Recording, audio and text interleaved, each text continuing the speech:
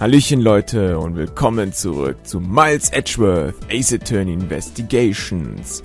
Den letzten Part haben wir damit geendet. Ja, wo liegt der Beweis, dass dieser Koffer nicht ganz so alt ist, wie Miss Tenero es behauptet? Und ich würde sagen, dieses Preisschild hier sieht ziemlich verdächtig aus. Nimm das! Sagen Sie mir, Miss Tenero, ist es äh, eine Eigenart von Ihnen, den Preisschild äh, am Koffer zu lassen? Ah! Was bedeutet das? Warum würden Sie über den Koffer lügen? Hm.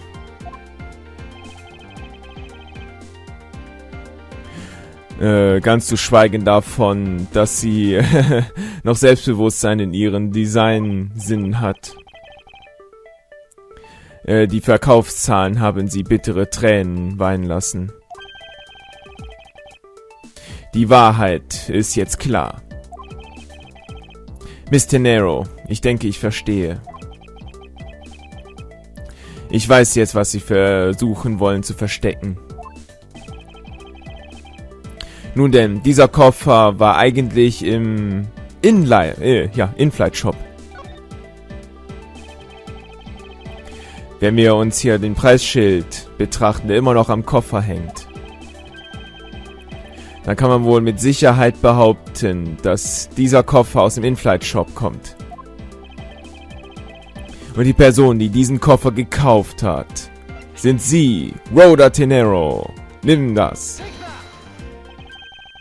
Es waren Sie, nicht wahr, Miss Tenero? Ich hasse es zu sagen, aber diese Koffer, den Sie designt haben, es wurde nicht gut verkauft, richtig? Hm. Sie haben gesehen, wie sch äh, schwer sich der Koffer, den Sie designt haben, verkaufen ließ. Und Sie wurden schwer verletzt. Also wollten Sie es aussehen lassen, als würde es sich gut verkaufen, indem Sie es selbst kaufen. Ist das nicht richtig? Dann der Grund, warum Sie in den Shop gegangen sind und wieder zurück. Es tut mir leid. Alles, was ich habe, ist mein Job. Ich, ich war so überglücklich, als mein Design ausgewählt wurde. Ich dachte vielleicht, vielleicht hätte ich irgendetwas Erfolgreiches getan. Aber die Koffer wurden nicht verkauft. Es ist wegen dem Design, nicht wahr? Alle, die das äh, sich anschauen, sagen, schrecklich. Ich kann auch nicht behaupten, dass der Platz, äh, wo die verkauft werden, eine gute Wahl war. Wir haben nicht mal einen einzigen verkauft. Sie saßen einfach nur da und haben Staub gesammelt. Ich fühlte mich so schlecht, äh, sie dort zu sehen. Tag ein, Tag aus. Also habe ich mich entschieden, immer einen zu kaufen für jeden Flug, wo ich arbeite. Sie, Sie kaufen, haben immer einen Koffer gekauft, während Sie gearbeitet haben? Ich verstehe. Um, äh, das Ansehen zu schützen, haben Sie immer, äh, haben Sie ein, beziehungsweise, um, äh, bäh, Jetzt bin ich aus dem Konzept hier rausgekommen. Äh, um Ihren Plan fortzusetzen, haben Sie auch in diesem Flug äh, eingekauft. Ja, hier ist meine Quittung für diesen Kauf. Hm, diese Quittung hat einen Zeitstempel. 5.40 Uhr. Kofferquittung in den Organizer. Schauen wir uns doch mal an.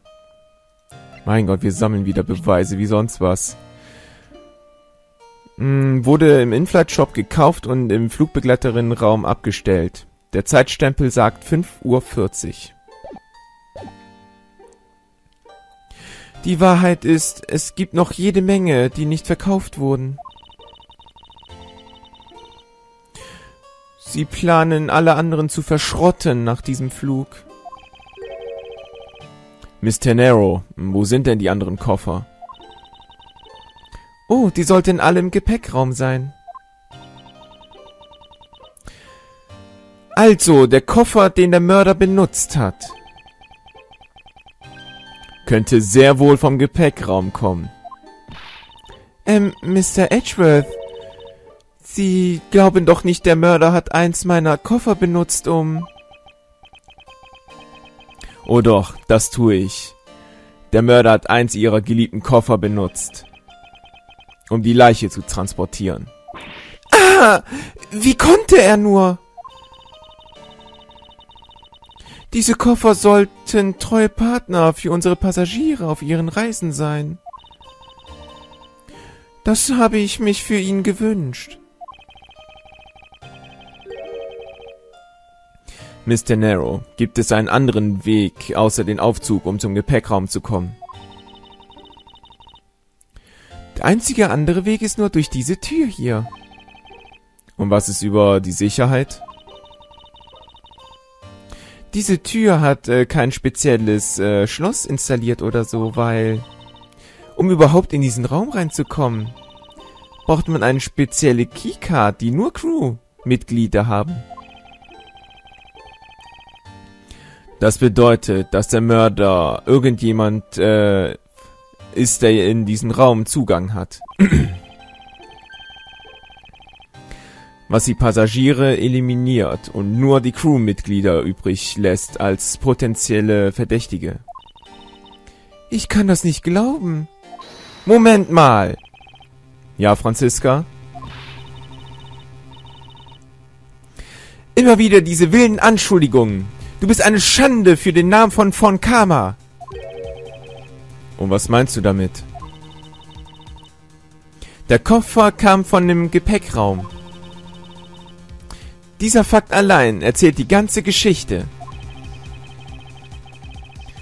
Weswegen ich sage, dass der äh, Täter einer von der Crewmitglieder sein muss, die eine Keycard haben. Miles Edgeworth. Du denkst also, dass der Mörder den Aufzug benutzt hat vom Gepäckraum aus, korrekt? Das ist die einzig realistische Möglichkeit. Die andere Flugbegleiterin, Miss Mealy.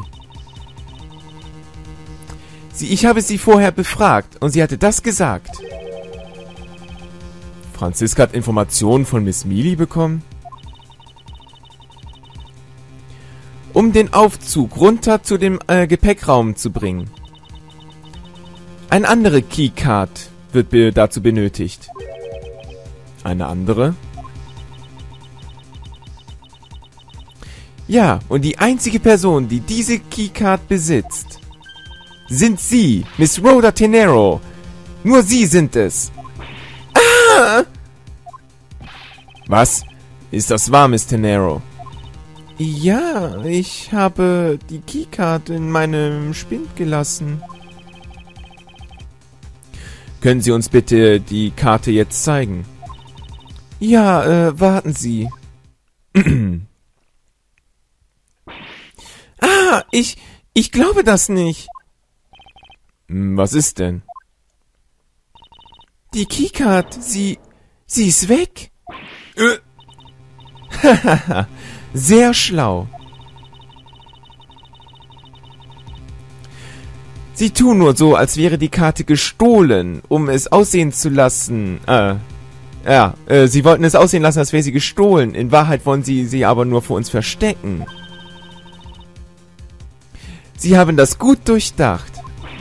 Warten Sie, so ist das nicht. Sie können uns alles darüber erzählen unten in der Station. Officer, verhaften Sie diese Frau. Jawohl, Ma'am. Mr. Edgeworth. Hm.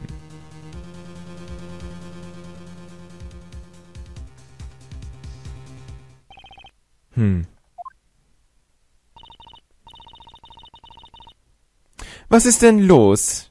Unglaubwürdigkeit äh, ist überall auf deinem Gesicht. Franziska, ich weiß, dass du die äh, verantwortliche Untersucherin in diesem Fall bist. Aber. Moment mal! Denk erst gar nicht darüber nach, weiter meine Zeit zu verschwenden. Hm. Du kennst die Regeln so, wie ich sie kenne. Beweis spricht äh, eine klarere Sprache als Wörter. Selbst wenn das nicht der Gerichtssaal ist, dieser, diese Basis bleibt bestehen. Hm. Ich möchte jetzt den Gepäckraum untersuchen. Was wirst du tun, Miles Edgeworth? Ich denke, ich werde dasselbe tun. To be continued. Ist Miss Tenero wirklich unsere Mörderin? Hm. Ich zweifle genauso wie Miles Edgeworth. Aber wenn das der Fall ist, dann muss jemand anderes der Schuldige sein. Aber wer? Und warum? 12. März, 2.52 Uhr, Flug I-390, unterer Deck, Gepäckraum. Wow, also das ist der Gepäckraum, hä? Na, da hat wohl jemand Spaß. Es ist so groß. Geh ins Kinderparadies oder sowas. Hm, dieses Flugzeug ist ein Spezialmodell. Es hat einen sehr großen Gepäckraum und einen sehr luxuriösen Erste-Klasse-Bereich. Also ist das der wahre Tatort des Mordes? Es gibt eine hohe Wahrscheinlichkeit für das. Der, aus dem Grund sind wir hier, korrekt? Okay, lasst uns untersuchen, Sir. Beginn mit der Untersuchung. Unterer Deck, Gepäckraum. Alles klärchen. Dann laufen wir mal los hier. Hm. Nanu? Das, das sticht ja schon förmlich raus hier. Ich könnte mich praktisch, äh, praktisch dazwischen klemmen. Du nicht, Gamshow. Du bist fett. Du kannst das nicht. Heilige Koffer, Mr. Edgeworth. Das ist ja, äh, äh, wie, ja, Kofferausverkauf hier. Das müssen die übriggebliebenen sein, die sich nicht verkaufen ließen. Diejenigen, die die Firma plant zu verschrotten nach diesem Flug. Die, diese Zeichnungen hier sind ja richtig cool, denken Sie nicht? Es spricht einfach so künstlerisch. Oh, warum kaufen Sie sich dann nicht einen? Ich denke, es wird Ihnen sehr viel Freude bereiten. Denken Sie? Dann, dann sollte ich vielleicht. Lass uns mal schauen. 1200 Dollar? Ich denke, ich muss passen. Ja, und Mr. Nero wundert sich, dass sie sich nicht verkaufen lassen. Man braucht zwei Jobs, um überhaupt einen zu kaufen. 1200 Dollar für einen Koffer? Wie viel ist das in Euro eigentlich? Euro ist ein bisschen weniger, wird aber immer noch, glaube ich, um die 1000 Euro sein. Wer zahlt denn 1000 Euro für einen Koffer? What the hell? Ich kann das mir definitiv nicht leisten. Aber ich bin ja auch ein armer Azubi. Hm. Es sieht definitiv so aus, als würde ein Koffer fehlen. Hm? Was ist das für eine Substanz, auf die ich stehe? Es ist, äh, ein paar Glasscherben? Glasscherben. Was machen denn Glasscherben hier und woher kommen sie? Hm. Ja, ich denke, wir können dann aber auch direkt Logik betreiben, denn wir haben ja irgendetwas, was Glas besitzt. Nämlich die zerbrochene Brille. Verbindet euch.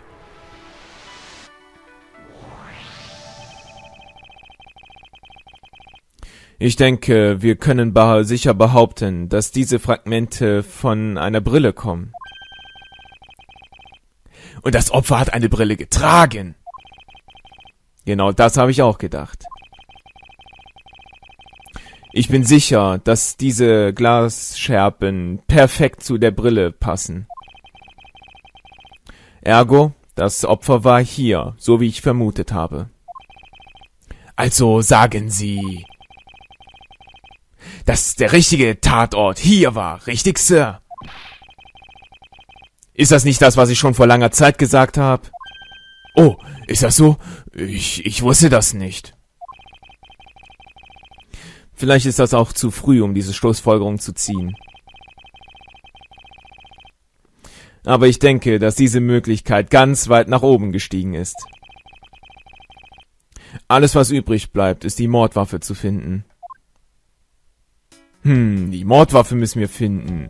Ich denke, das machen wir im nächsten Part. Bis dann.